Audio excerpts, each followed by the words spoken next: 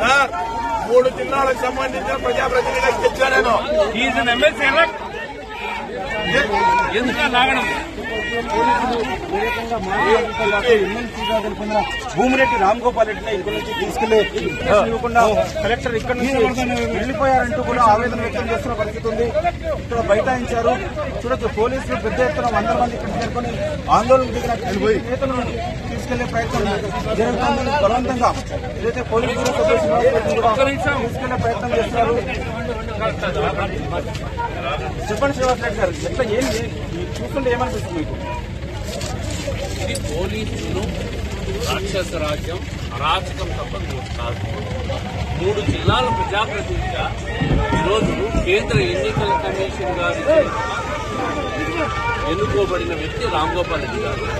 సాయంత్రం ఏడున్నర ఎనిమిది గంటలకు జిల్లా కలెక్టర్ గారే రిజల్ట్స్ డిక్లేర్ చేశారు. ఏడు వేల ఐదు వందల ఓట్లతో ఎన్నికైనట్టు.